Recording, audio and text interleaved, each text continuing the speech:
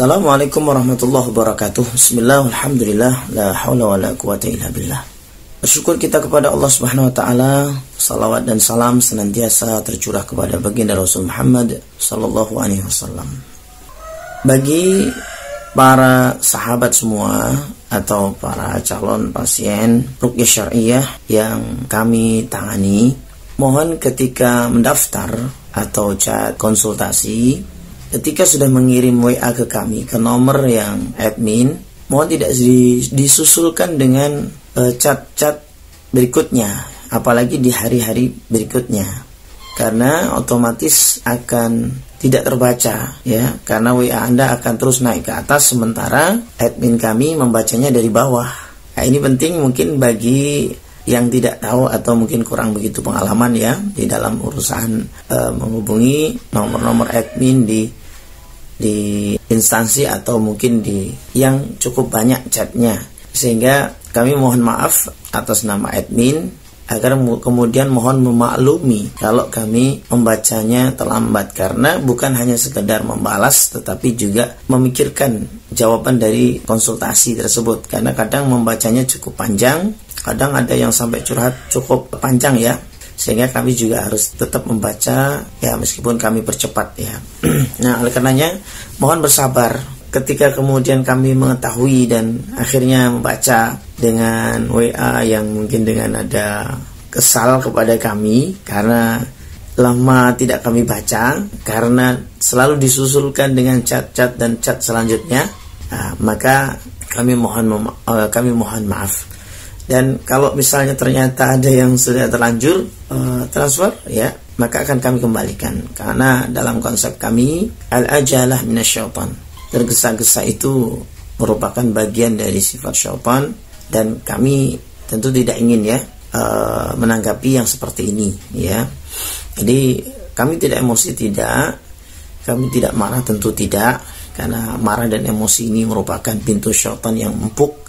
Ya apalagi kami ya baik itu admin kami juga menanggapi dengan biasa saja dan mohon bagi yang yang calon-calon peserta rukyah yang ketika WA sekali lagi mohon bersabar. Jadi mohon bersabar satu kali aja WA nanti pasti akan dibalas. Ya bisa paling mungkin dua atau tiga hari kalau misalnya kemudian dalam satu hari itu karena bisa sampai 200 chat atau lebih bahkan. Jadi kami mohon maklumnya.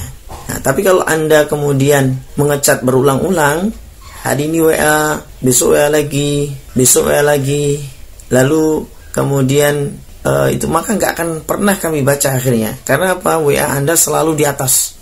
Ah, ini ya, WA Anda selalu di atas. Ah, demikian.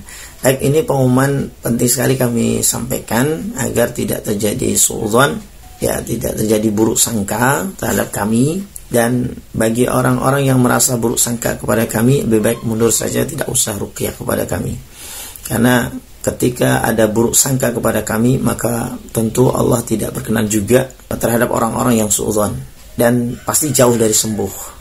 Yakin kami juga yakin. Karena di dalam terapi rukyah syariah ini doa adalah doa. Kalau sudah diawali dengan suudzon diawali dengan tergesa-gesa tergesa-gesa itu macam-macam. Tergesa-gesa pengen sembuh tergesa-gesa ingin dilayani ya tergesa-gesa ini itu dan seterusnya maka syaitan akan sangat mudah ya nanti akan masuk kepada orang-orang seperti itu. Dan apalagi janganlah kemudian mencoba memancing-mancing kami agar kami juga emosi ya. Naudzubillah min dzalik. E, kami akan berusaha terus untuk tidak terpancing emosi karena tentu dukun akan sangat suka ya. Syaitan akan sangat suka jin-jin yang masih belum beriman akan sangat suka kalau kami kemudian emosi lalu terbawa kepada emosi tersebut dan akhirnya menjadi kesempatan pintu di mana mereka akan menyerang atau bahkan akan uh, merusak kami. Ya masya Allah. Oleh karena itu sekali lagi para sahabat semua mohon sabar. Pasti akan dibalas kalau anda chat sekali saja tidak usah disusulkan lagi. Lalu kemudian dapat balasan silakan chat lagi sekali saja tunggu lagi Jangan berulang-ulang dan jangan telepon uh, atau video call kalau tidak kemudian kami yang menghubungi pada saat proses rukyah.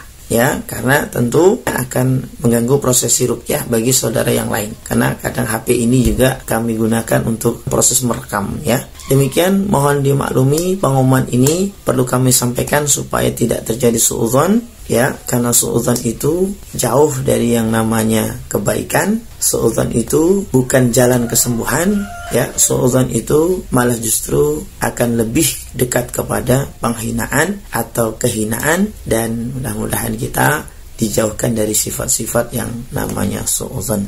Demikian saya Al-Fakir mohon dimaafkan. Billahi taufik walidayah wassalamualaikum warahmatullahi wabarakatuh